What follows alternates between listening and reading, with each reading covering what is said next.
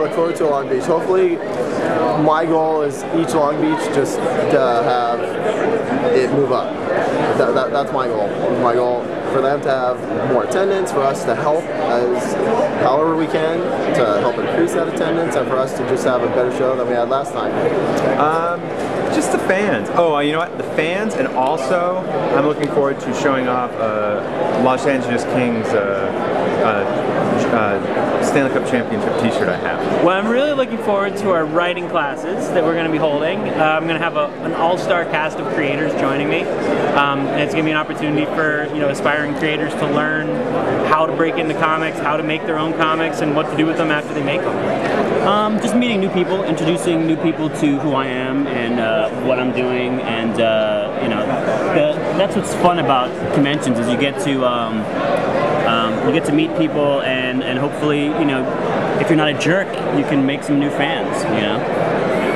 I'm just looking for fans to be excited and to be there and, and interested in seeing new stuff, new ideas. Looking forward to, uh, once again, meeting all the fans. Like, really, the fans of Long Beach are awesome because they're all, like, really into the show. They're, they're, they just love being there.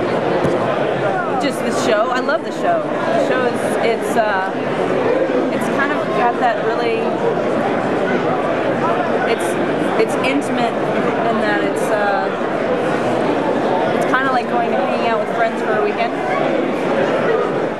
Uh, really, what I'm looking forward to seeing seeing friends. You know, Marat. You know, I'm sure Will still be down there. I mean, if he's not, he should be. I haven't taken a look at the guest list recently. Um, I mean, I know Benitez will come down. Uh, That's my favorite thing about the local shows. Since I'm again an Orange County kid, I've been going to Long Beach for years, and I just love seeing all my friends and colleagues that I only get to see at these conventions for the most part. We're always so busy in between shows, hitting our deadlines. We never get to hang out with one another. So it's great just chilling with everyone. If Tim Vigil comes down, I love hanging out with Tim.